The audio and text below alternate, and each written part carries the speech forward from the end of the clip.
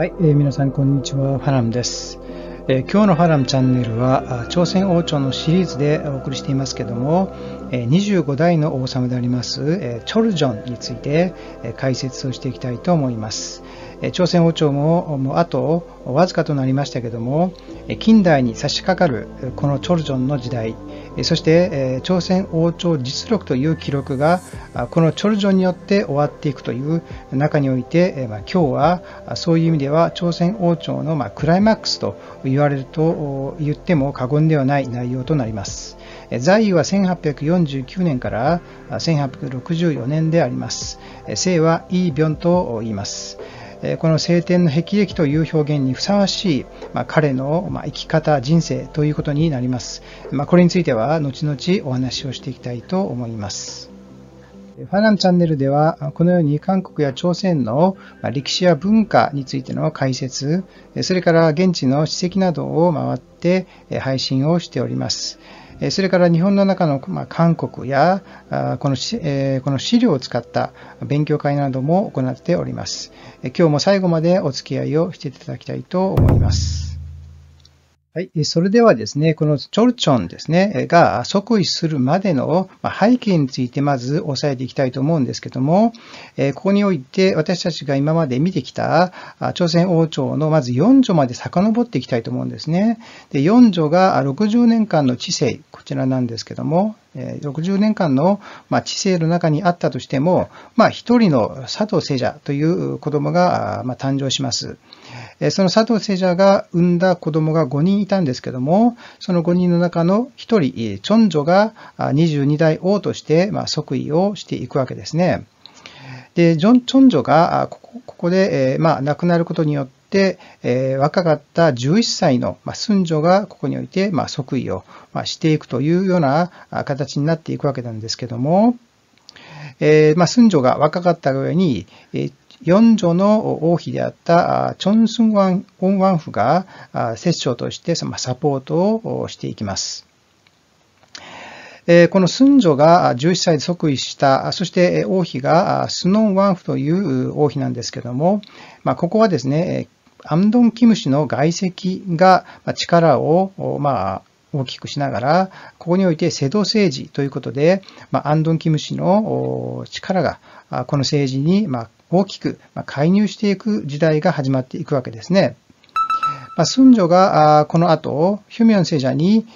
代理チョンジョンということで政治を任せていくんですけども、ヒュミョン聖者も22歳という若さで死んでしまう。そしてその後すぐにスンジョも亡くなっていくということで、一人息子であった、ヒュミョン聖者の一人息子であった本ジョンが、ここにおいて、まあ、赤くしてですね、即位をしていったということはま、前回をお話ししました。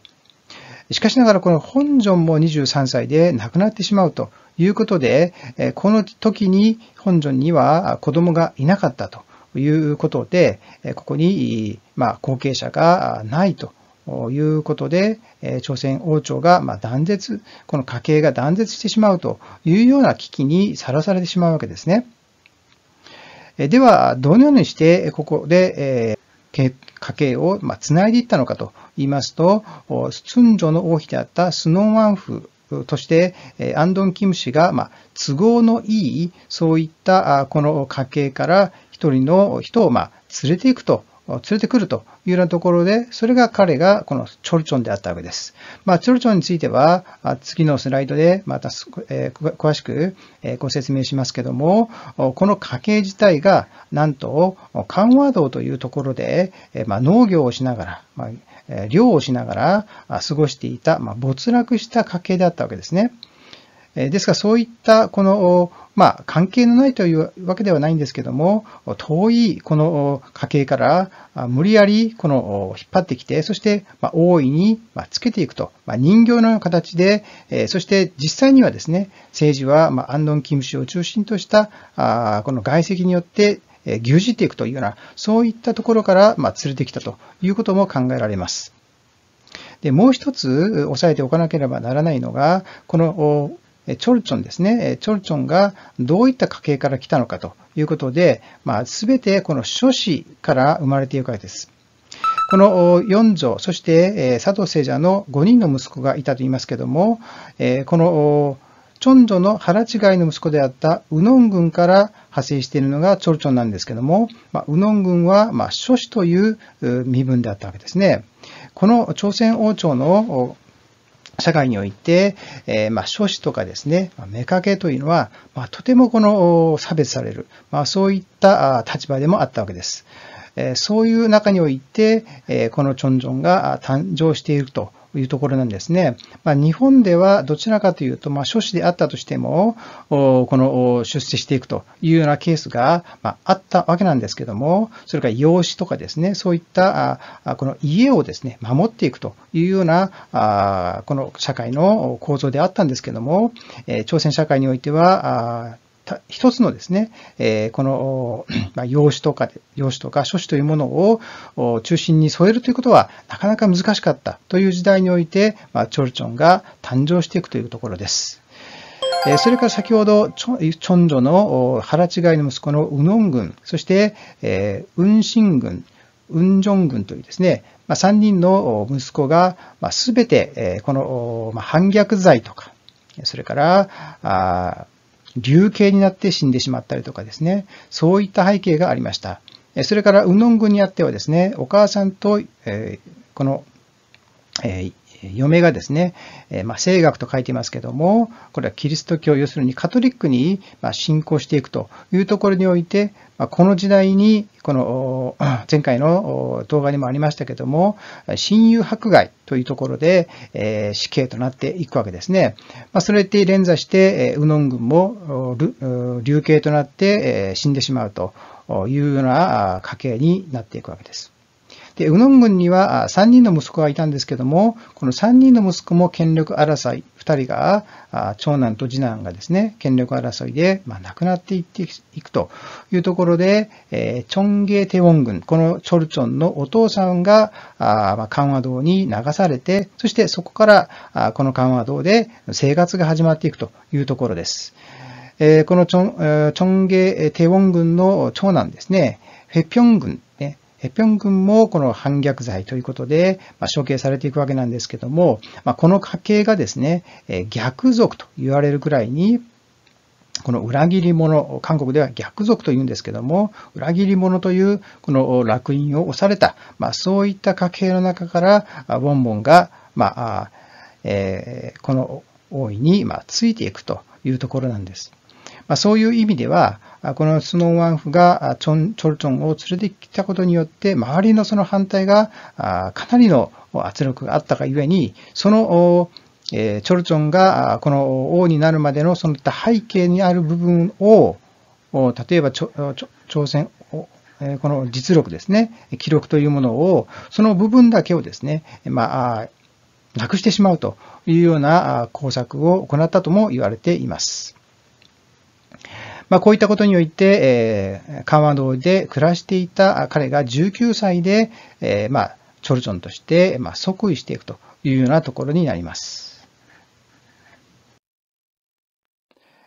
それでは、チョルチョンとはどんな人物であったのかというところが気になるとは思うんですけども、えー、先ほども言いましたように、まあ、緩和道というですね、まあ、高架道、まあ、インチョンの上の方にある、えー、島なんですけども、まあ、そこで、まあ、農業や、それから漁ですね、えー、わらじなどを作って、そして、まあ、生活していたと。いうことで、まあ、かなり、えーまあ、貧しい、そういった家であったと。まあ、今もこういった家をですね、公開しながら残してはいるんですけども、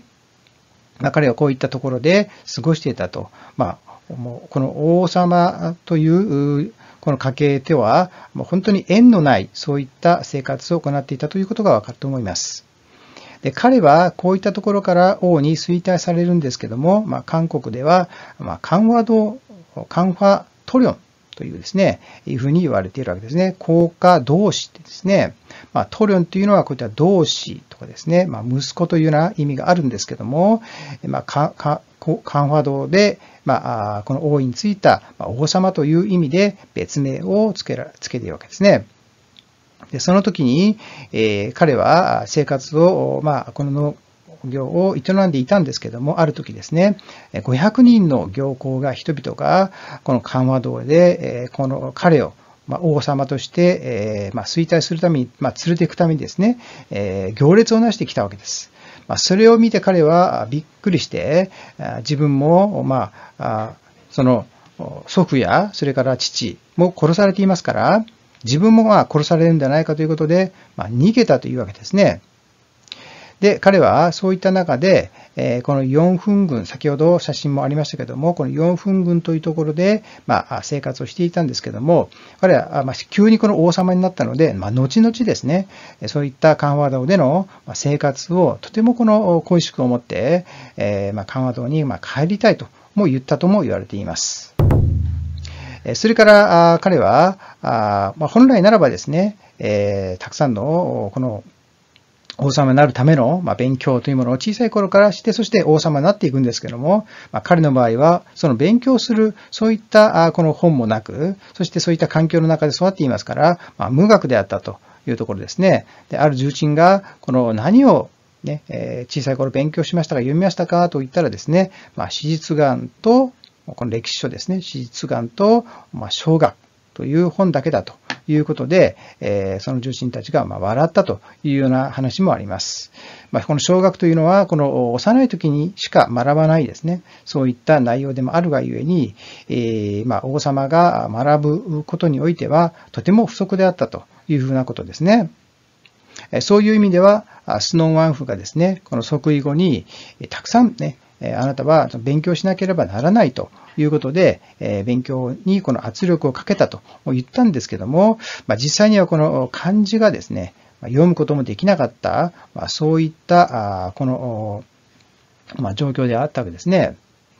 で、王様というのはその家臣に、ま、指示をしていくんですけども、その時に、ま指示の文を書くわけですね。まあ、それも漢字が書けないので、まあ、ハングルで書いたということで、まあ、その当時は、この庶民がですね、まあ、漢字がわからない庶民が、このハングルを用いていたということもあってですね、まあ、彼はこのハングルで指示文を書いたということです。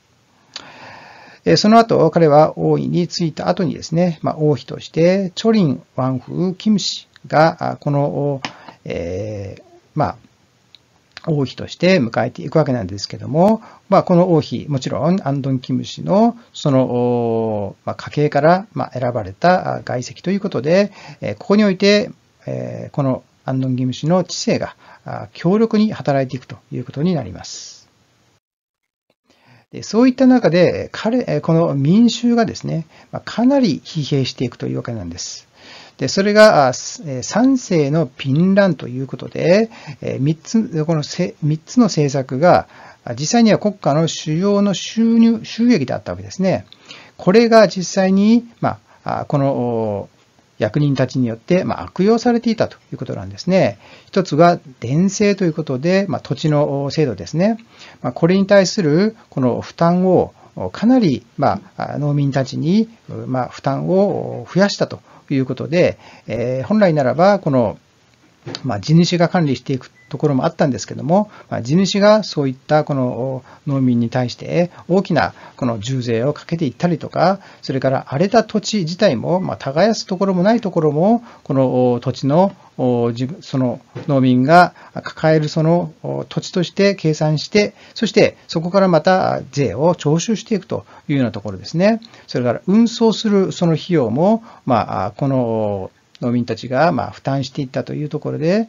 この伝政がこの農民たちの大きな負担になっていたというところです。それから軍服というのが軍の布ですね。軍人が着る服を、まあ、これ作っていくんですけども、実際にはこの軍、徴兵制ということがあって、徴兵制に、徴兵に行かなければならないというところがあったんですけども、それに免除するために、こういった軍譜ですね、軍譜をまあ、作っていくことによって免除したというところだったんですけども、えー、まあ、死人や家族の中に死人がいたりとか、それから、あそれはその、もともとはですね、男性が徴兵制に、徴兵に行きますから、男性だけだったんですけども、数の、この、軍譜を作るためのその人数の、人数を子供や女性にも割り当てて、そして作らせたと。いうことなんですね。でもし作らなければ、5人、ご家族が連帯責任を負うという、まあ、制度があったがゆえに、まあ、そういった連帯責任において、まあ、大きなまこの責任を負わされたというところです。もし5人の、5人の家系、家族がですね、家がなければま、親族にそういった責任を負わせた負わせたというような話もあります。それからファン国という韓国ですね。え、こういった制度があったわけです。まあ、これは春に米を貸し与えて、そして秋に利子をつけて返済するというような、まあ、これは人民への救済制度だったんですけども、もともとは無理してあったのが、あこの時代において、まあ、6ヶ月が10%が、今度は50%という利子として、ま、増やせ、増やして、そしてこの農民に貸し付けたというところで、この3つの賛成というですね、えものが、農民に大きな負担となっていったというところです。それから、それと同時にこの時代に、まあ、この自然災害、洪水や日照りや、そして火事に対して何も対策を行わなかったことによって、ま、多くの死傷者が出たと、まあ、飢餓、そしてそういった地域からもう流民が出てですね、逃げ出したということですね。山に逃げたりとか、他の国に逃げたりとかですね。まあそういった中で、もう民衆はですね、まあ、自暴自棄になっていたというんですね。もう本当に自分はここで生きていくことができないというようなところで、えー、本当にこの民衆がこれからの生活の糧をなくしてしまったというところだったんですけども、これはどうしてこうなったかというとですね、このアンノン・キム氏に請託という、まあ、自分のこの身分や、そして職をですね、地位を、ま、買うというですね、そういった売買売食というのが横行したわけです。要するに今までは試験によってこのヤンバンという地位を得ることができたんですけども、それさえ無名化していったと。要するに、その職をですね、地位をお金で買うことができるようになったというところで、ヤンバンの数が増えたとも言われているわけです。ま、それによってお金が必要ですから、そのお金をどこから搾取するかというと、まあ、一般の民衆だったりとか、農民であったりとか、商工業者に対して重税をかけて、そしてお金を稼がなければならなかった。まあ、それによって民衆への生活が影響が大きくなっていったということなんですね。では、そういった民衆たちがどうなっていたかと、先ほどももう自暴自棄になっていたともう自分がもう本当にこの生活において耐えきれないというところで、まあ、爆発するわけですね。それが民衆の反乱となり、それを政府が鎮圧していくというところです。でこの当時流行った、まあ、この思想として、前回はまカトリックということでお話をしましたけども、まあ、東学思想というものが流行ります。でこの等学思想というのは、すべての人は、ま人格的な存在であり、天であるということを、ま、チェージェウという人が、まあ、教祖として、ま、唱えていったわけですね。この等学というのは、まあ、聖学に対する。聖学というのは、ま、カトリック。西の、ま、学問ですね。え、西洋の学問。で、東学というのは、この韓国の東ということで、まあ、東学というところで名付けたものなんですけども、すべての人は人格的な存在、まあ、平等だということですよね。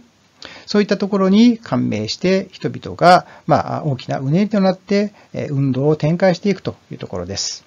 で、チェジルはテグで、ま処刑されていくわけなんですけども、ここでポイントなのはですね、まあ、平民だけではなくて、新興新商工業者、要するに、まお金を少しずつこの蓄えることができる、そういった人たち、それから没落ヤンバンですね。